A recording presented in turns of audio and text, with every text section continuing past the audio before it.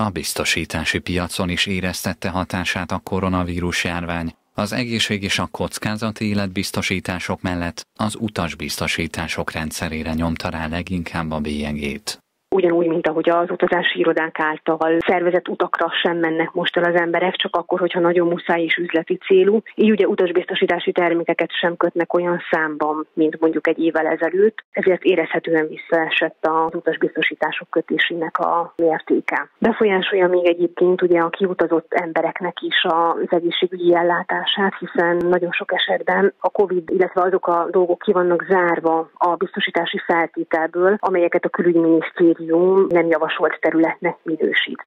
Kiutazás előtt érdemes ezért tájékozódni a külügyminisztérium honlapján, hogy a célterület milyen zónába tartozik, a biztosítónál pedig arról jelente rá fedezetet az ügyfélutas biztosítása.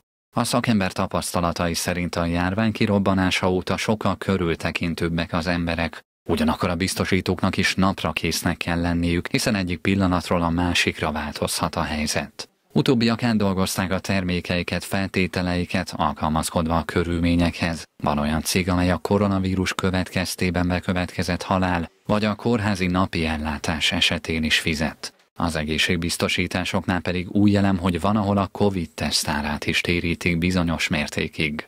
A karanténban töltött idő ugyanakkor nem minősül biztosítási eseménynek, így ez nem szerepel a biztosításokban. A tömeges home office is hozott változásokat a feltételek tekintetében. Az otthoni munkavégzések száma nőtt meg a COVID miatt, és így nagyon sok esetben bekerültek olyan vagyontárgyak is a lakásbiztosítási fedezetben, amelyek ugye maga a cégnek a vagyontárgyai, tehát aki ugye szolgáltatja a munkavállalójának az otthoni munkavégzésre az eszközöket, ezek bekerültek ugye a lakásbiztosítási feltételekbe. Voltak már olyan termékek régebben is, amelyek ugye nem az otthoni munkavégzésre születtek, de biztosították mondjuk a, az idegen vagyontárgyat, például egy hazavitt laptopot, drágább mobiltelefont mint a Mabis oldalán olvasható a befektetésekhez kötött megtakarításokat még nem érintette olyan mértékben a járványhelyzet, mint több más országban. Ezekre a termékekre csak a kamatok alakulásán keresztül hatott ez az időszak.